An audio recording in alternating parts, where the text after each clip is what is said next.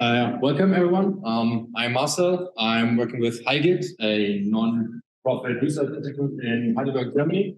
And I'm going to talk you through the ohsome Stack.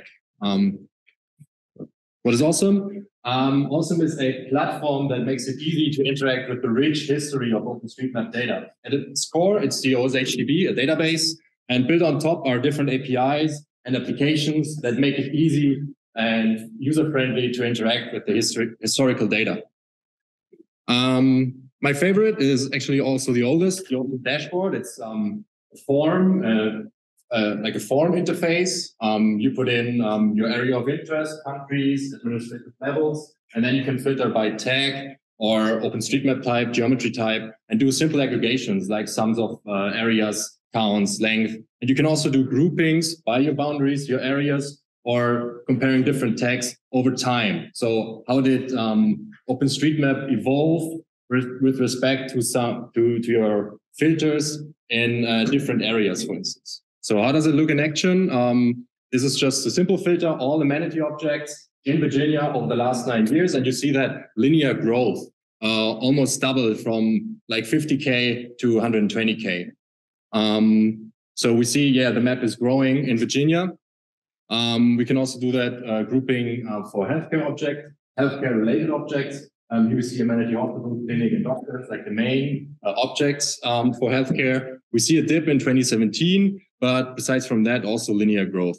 Um, and yeah, the dashboard is just um, to get a like quick overview of the OpenStreetMap data. Of course, we don't know like what exactly happened here. Maybe we should have a look at the change sets or the contributions itself here. Um, so there's another tool or application, ohsome Hex or historical um, exploration. Um, so this is pre-processed historic data. So here you have a map interface and a time slider, so you can go back and forth in time. And you see these aggregations on hex level. So here we have, for instance, uh, the US or North America, and you see the proportion of hospitals um, for each of these hexagons that uh, have an emergency tag. So sometimes um, you see just one tag, amenity hospital or healthcare hospital, but there's other important tags like the bed count, for instance, or if there's emergency capacity. Um, yeah, and this tool can help you to see that, um, especially via web interface.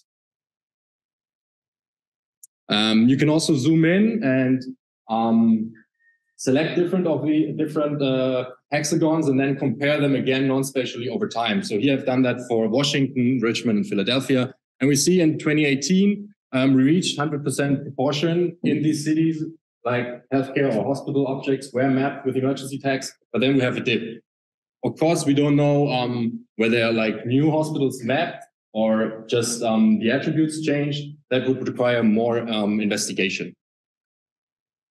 Um, another tool, the ohsome Quality Analyst, or short OQT, is a platform that brings together um, extrinsic and intrinsic quality indicators. So it's a set of indicators. For the intrinsic ones, we use the history a lot. Like, for instance, how complete is um, uh, a certain feature map. We use mapping saturation over time, but we also do extrinsic analysis, like comparing again over time OpenStreetMap's development in um, evolution in some areas um, comparing it to other data sets like um, building footprints or um, population data.